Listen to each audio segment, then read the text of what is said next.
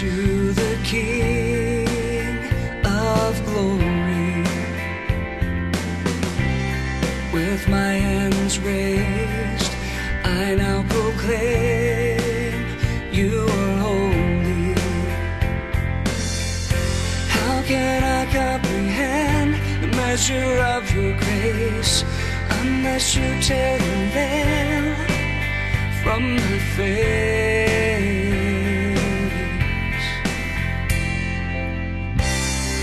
As one drop in the sea, I am to your presence.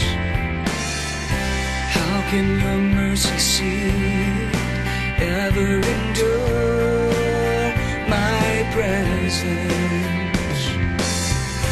I have no offering that can match your well, but you ask of me myself?